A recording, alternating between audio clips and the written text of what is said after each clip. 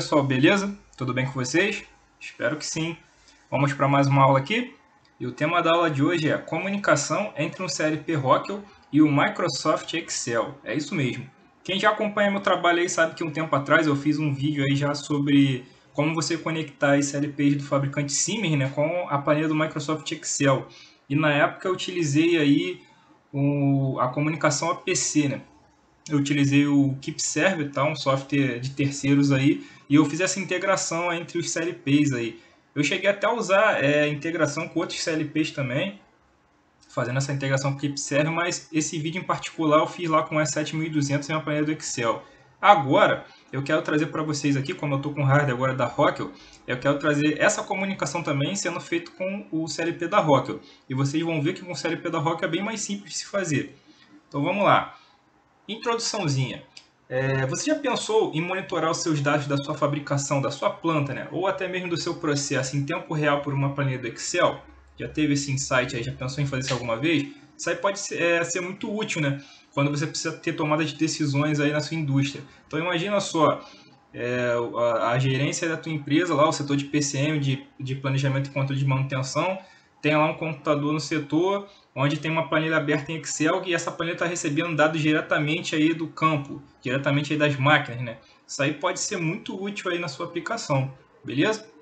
Então nessa aula aqui eu quero te mostrar como você fazer, como você pode realizar essa integração utilizando o nosso Microsoft Excel e o nosso CLP da Rockwell. E para fazer isso a gente vai usar o que a gente chama de Dynamic Data Exchange, tá? Que é popularmente conhecido como DDE, beleza?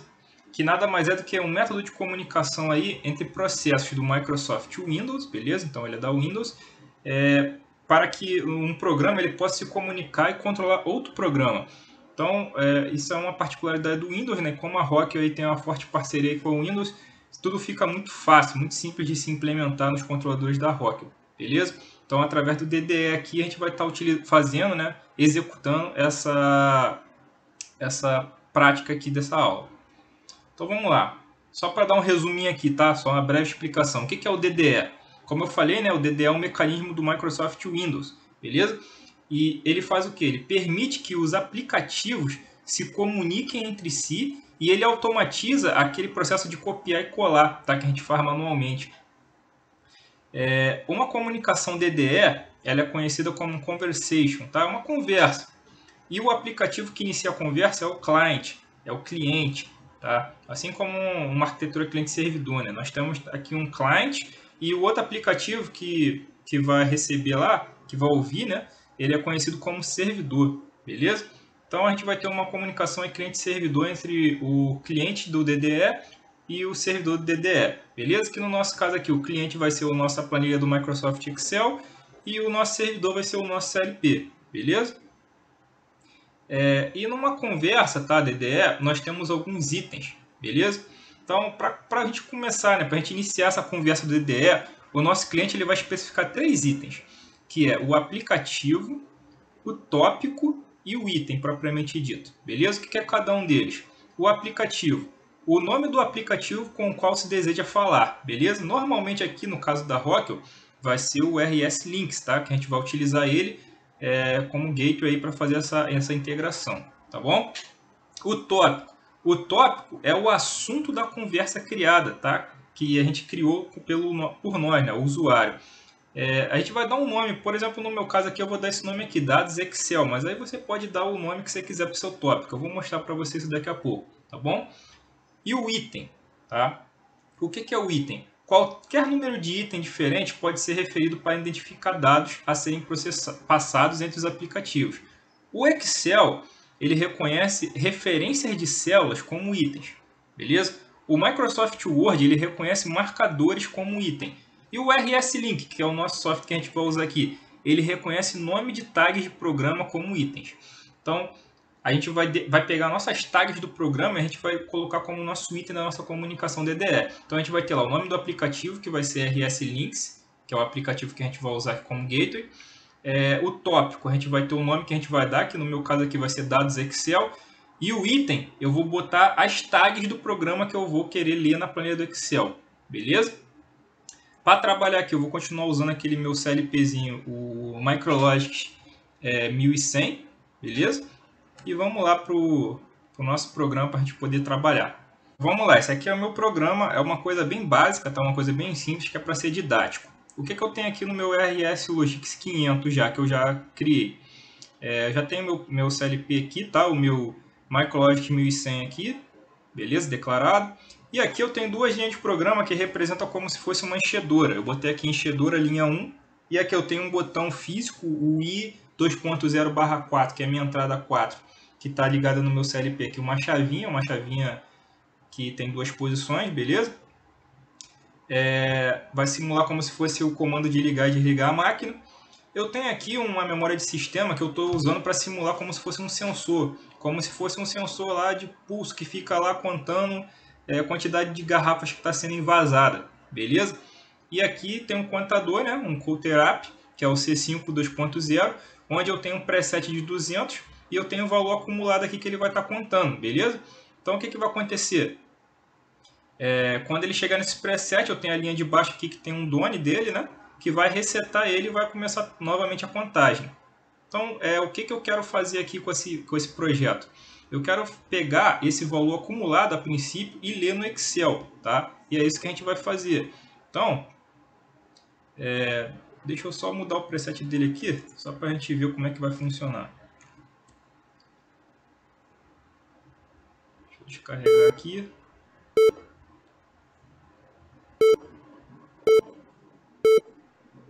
Ó, beleza, tá online. Então aqui eu vou ligar minha chavinha, ele vai contar. E aí ele dá o, o preset, ele zera novamente, beleza? É, isso que vai, é assim que vai funcionar. Então como é que eu faço para ler esse valor aqui acumulado é, no meu Excel? Então vamos lá. Primeira coisa que a gente vai fazer aqui, a gente vai abrir o nosso RS Links, tá?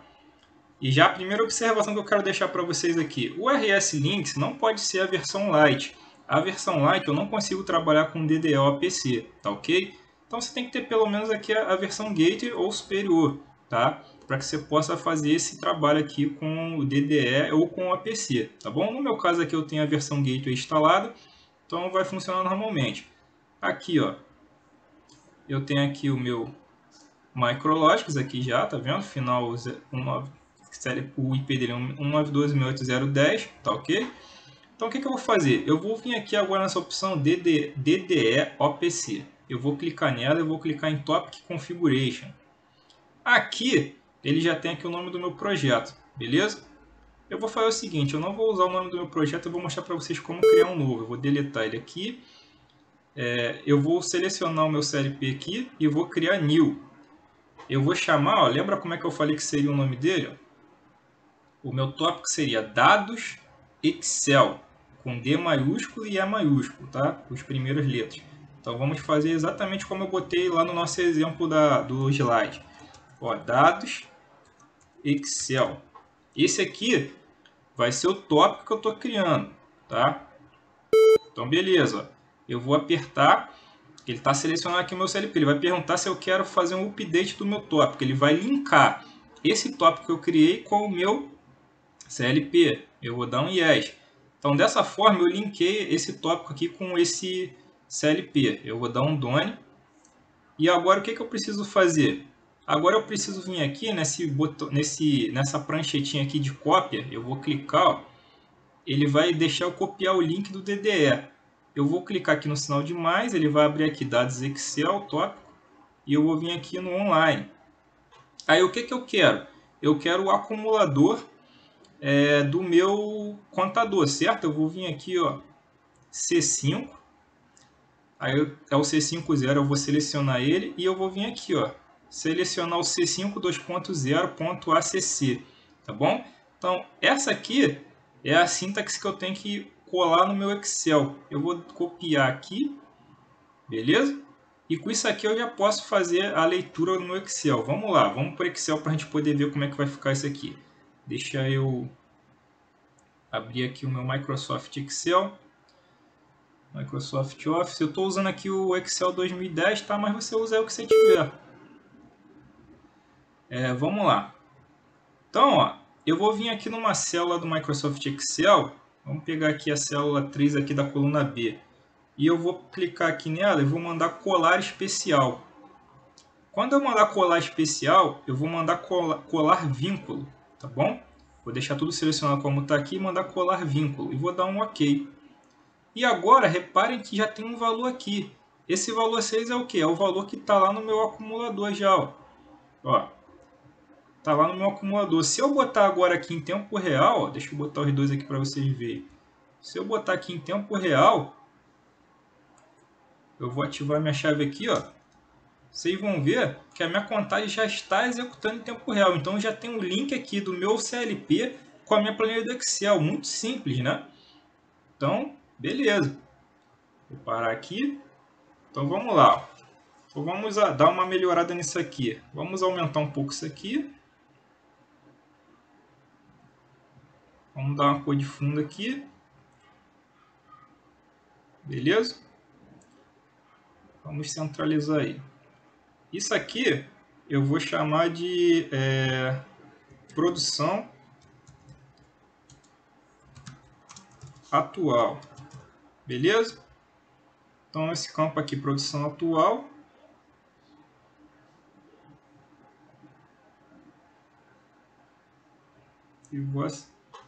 Então, esse aqui é o valor de produção atual, o valor que eu estou tendo real no momento. Tá? Beleza. É, aqui eu já consigo ler, tá? Mas vamos supor o seguinte. Ah, Rodrigo, legal, eu consigo ler aqui a minha produção. Ó. Mais uma vez, eu vou deixar aqui. Ó. Aqui eu já consigo ler os meus dados de produção. Beleza, eu estou vendo lá quanto que está tá sendo produzido no momento. Mas vamos supor agora, vamos supor que além de ler o dado de produção, eu queira definir o preset da produção. Ah, isso aqui está controlando quantas garrafas está sendo produzida, mas vamos supor que minha, é, o meu lote mudou, agora eu vou produzir é, X produtos e eu quero que isso atualize em tempo real. Como é que eu faço para escrever no preset? Então vamos lá, isso que eu vou mostrar para vocês aqui agora. Vou parar aqui de novo. Se eu quiser escrever agora no Excel, eu vou ter que usar o VBA. E aí, para usar o VBA, eu já vou ter que habilitar a função de desenvolvedor aqui do Excel. Então, o que, que eu vou fazer? Primeiro, deixa eu aumentar aqui de novo. O que, que você vai fazer nessa planilha do Excel? A minha já está aqui, mas eu vou mostrar para você como é que você habilita ela caso a sua não esteja habilitada, tá? Porque normalmente não vem habilitado esse modo desenvolvedor. Você vem aqui em arquivos, você vem aqui em opções, aí você vem aqui, ó, personalizar faixa de opções. Aqui, nessa guia aqui do lado, vai ter é, a aba desenvolvedor, que está aqui, ó. Tá vendo? A sua vai vir assim. É só você vir marcar ela, tá bom? E você dá um OK. E aí a sua aba desenvolvedor vai aparecer aqui, tá? Então como é que a gente vai trabalhar aqui? A gente vai vir aqui no desenvolvedor e a gente vai vir aqui em Visual Basic. No Visual Basic, você vai clicar na planilha que você está trabalhando, a planilha 1, e ele vai abrir essa tela. Agora, para que a gente possa é, escrever lá um dado, que no meu caso lá é um dado inteiro né, do meu acumulador, você tem que escrever uma sintaxe aqui que eu já tenho ela aqui copiada. Depois você pode pausar o vídeo aí e copiar essa sintaxe aí, tá?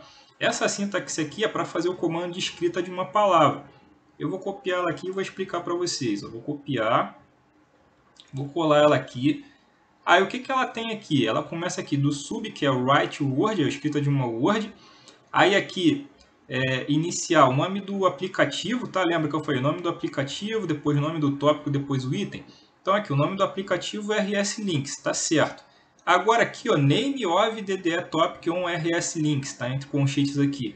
Eu vou apagar isso aqui, até os conchetes. Aqui eu tenho que botar o nome do meu tópico do RS Link. Qual é o nome do meu tópico do RS Links? Vamos voltar lá para vocês lembrarem. Dados Excel, tá bom? Vamos botar lá, ó, lembrando do, da letra maiúscula que eu botei aqui, no D e no E. Dados Excel. Legal, né? Então, beleza, eu já tenho aqui o meu aplicativo e o meu tópico. E agora aqui embaixo, eu preciso botar a, o nome da tag do CLP e qual é a, é a planilha que eu vou usar e a coluna que eu vou usar. Então, o que eu vou fazer aqui? O nome da minha tag. Vamos lá no programa. Qual é o nome da minha tag? Eu quero pegar o preset. Vamos abrir aqui o arquivo do contador e vir aqui no preset. Olha aqui o, o, o minha tag aqui, ó. É C52.0.pré. Vou copiar aqui para ficar para não ter erro. Vou vir aqui, ó, apagar os conchetes e vou colar aqui C5 beleza? Então essa aqui é a minha tag. E agora a minha planilha, tá aqui sheet 1, é, exclamação C7. Eu não quero usar é, sheet 1 porque sheet 1 está em inglês. Ah, o meu Excel que está em português, então ele está como plan 1. Então eu vou mudar isso lá. Ó. Se a tua tiver em inglês, vai estar tá você vai, manter, vai manter. Mas no meu caso aqui, ó, o P é maiúscula, plan, que é planilha 1. E qual a coluna que eu quero escrever, que eu vou usar para escrever, né, no caso? É, eu vou pegar aqui, abaixo de produção, vou botar aqui na coluna B6, tá bom? Então eu vou mudar aqui, ó, tá, aqui tá C7, eu vou botar B6, tá bom? É só isso. Feito isso, eu posso salvar. Aí eu vou escolher uma pasta que eu vou salvar. Eu vou vir aqui em Programas, Excel. Eu vou salvar aqui. Eu vou chamar isso aqui de VBA. Só que eu, não, eu vou botar aqui pasta de trabalho habilitada para macro, tá? Para ele poder salvar a macro. Eu vou salvar, ok. Agora eu posso vir aqui, ó. E o que eu escrever aqui na minha coluna B6, eu vou até destacar ela aqui. Até destacar ela aqui de uma cor diferente. O que eu escrever aqui vai ser o que vai para dentro é, lá do meu programa. Mas eu preciso de alguma coisa para executar essa macro. Não adianta só botar o valor aqui que ele não vai executar lá. Tem que ter alguma coisa para chamar essa macro, tá? Eu vou até botar aqui um valor. Vou botar um valor para eu poder editar ela. Ó, vou botar 100. É, deixa eu centralizar aqui. Deixa eu copiar aqui para poder... Beleza, só vou mudar o fundo para vermelho. É, eu vou chamar isso aqui de preset. Tá bom? Então deixa eu pegar aqui e copiar para poder atualizar. Beleza.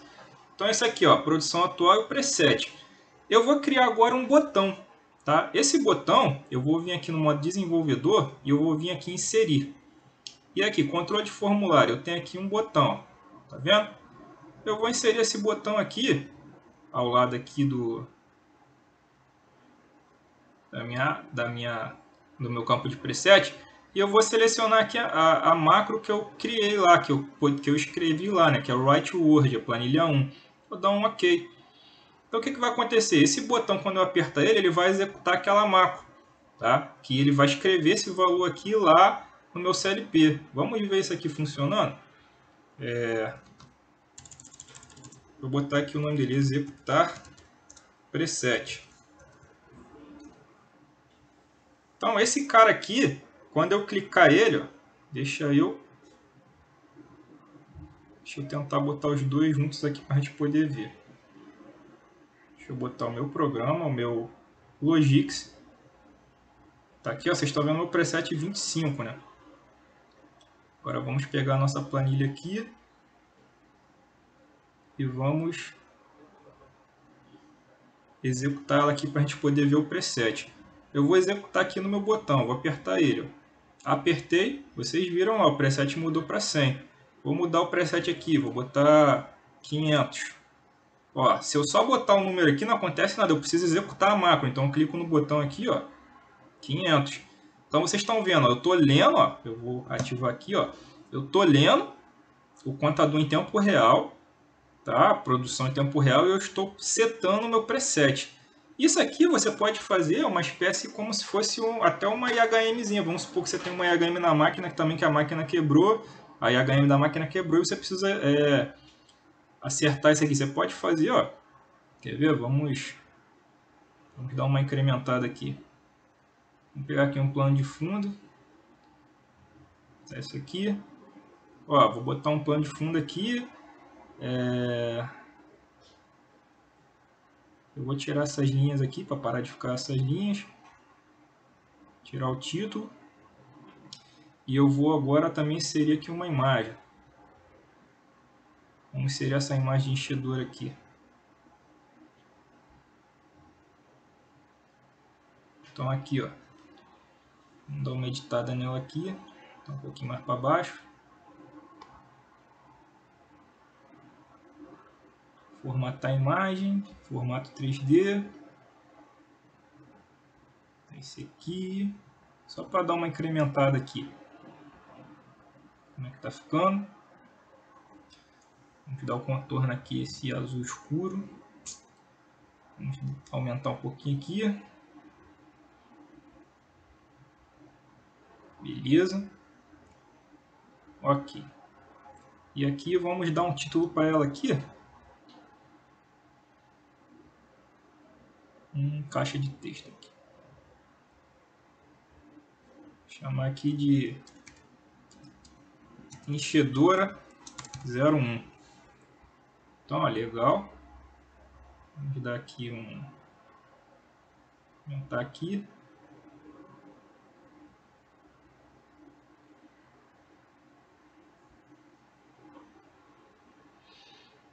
Centralizar. Então aqui, aqui você já teria é, uma espécie de mini supervisório aqui para você, né? Então você estaria podendo estar tá, é, setando seu preset ali na sua máquina, você está escrevendo, né? Utilizando macros aqui e você está também podendo ler as suas informações aí. Isso aqui é bem bacana, já te ajuda pra caramba aí caso você precise é, de repente usar aí para poder coletar algum dado importante para você. Tá bom, galera? Então assim, é, fica aqui essa minha dica, tá? Fica aqui essa minha dica para você, caso você tenha interesse em trabalhar com Excel aí junto com um, um CLP da Rockwell. E é muito simples, como você viu. Você só precisa só pegar lá o seu RS Links, configurar lá conforme eu mostrei para vocês. E aí você pode trabalhar tranquilamente aí, pegando seus dados aí da sua produção, tá bom? Então fica aqui, ó, tempo real para vocês poderem ver, ó, 244, preset 500. Vou mudar o preset aqui para 1000 mais uma vez, ó.